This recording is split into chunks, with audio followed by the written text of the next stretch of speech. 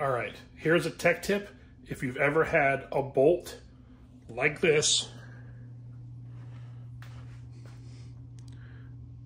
that you've had to try and fit into a small spot like this and have to torque it down. Okay, the way you do it is, these are the tools you're gonna need and then obviously you got your torque wrench. For example purposes, I'm just gonna do 10 foot pounds. You put this, and you put that. Then because this particular bolt is a 5 16ths, 5 16ths.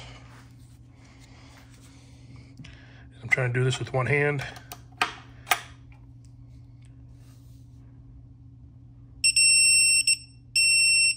And then that's how you do it, just like that.